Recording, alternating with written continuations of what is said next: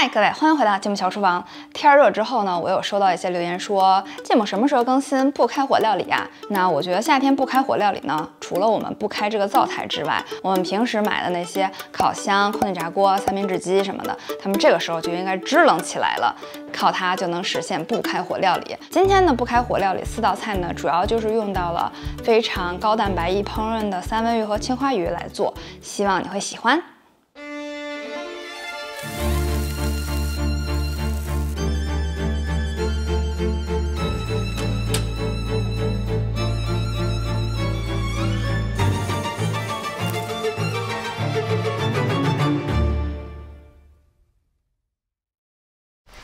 第一道是超级清爽的三文鱼沙拉，用这个肥美的三文鱼卷着黄瓜和洋葱一起吃，这个就是清爽和肥美的一个碰撞，有点糯，有点脆，还有一点点辣，真的非常好吃。五一朋友来我们家吃饭的时候，我就给他们做了这个，本来我还担心会不会接受度不高，结果真的是狂炫两盘儿，做法就超级简单。先用这个擦片器擦出这个薄薄的黄瓜片和这个白洋葱丝，一定要用白洋葱，因为它更不辣。调味汁呢，我用了这个日式洋葱沙拉汁，它是一款酸味很淡的这个油醋汁。然后在上面盖上这个厚厚的三文鱼就完成了。爱吃刺身的朋友，你真的一定要试这个卷儿，口感超级妙。第二款呢是用这个三明治机热压的青花鱼土豆泥。首先，我们先把这条解冻好的青花鱼放在三明治机里面热压八分钟。那你看啊，这个鱼皮部分好像没有完全压到，但是这个背面它的上色度已经非常不错了。接着呢，夹出鱼片，然后在这个三明治机里面填满土豆泥。这个低卡土豆泥的做法呢，我之前节目有更新过，欢迎你去回顾。抹平之后，我们再把这个青花鱼段翻过来放在这土豆泥上，然后继续混合热压八分钟。这样呢，可以让这个土豆泥跟这个青花鱼一起受热融合。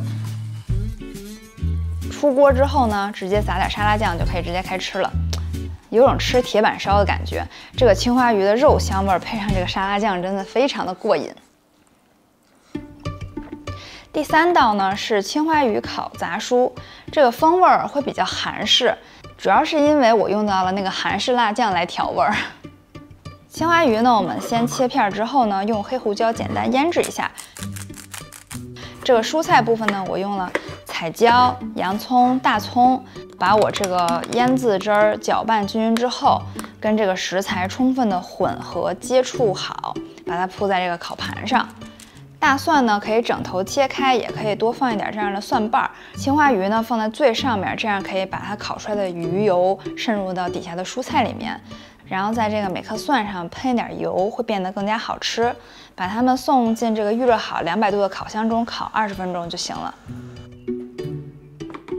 这烤透了大蒜，我跟你说巨好吃，巨香，混合着这个蒜瓣肉的青花鱼真的非常好吃。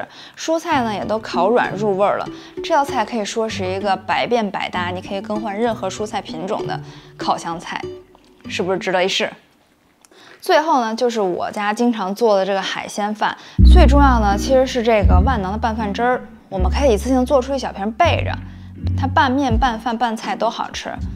做酱汁儿部分啊，咱们就稍微做个弊，稍微开一下火了啊。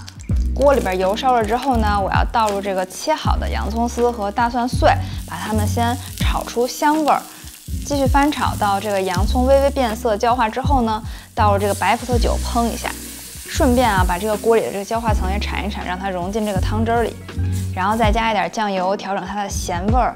加入这个高汤颗粒和白糖调味儿之后呢，一边大火边煮边收汁儿就完成了。接着呢，要把它过滤装瓶儿。这瓶酱汁儿呢，可以冷藏保存一个月。我们在这个米饭上铺上多多的这个挪威三文鱼刺身，然后再搭配其他喜欢的彩色蔬菜呀、玉米粒儿啊，最后浇上这拌饭汁儿就完成了。可以说用这个汁儿拌饭，我从来没失手过。OK，到这儿呢，希望本期的夏季不开火料理呢，能够给你糊弄做饭的时候提供一些新的思路和灵感。如果你试过之后觉得好吃的话呢，别忘了给我一键三连。那我们就下期再见，拜拜。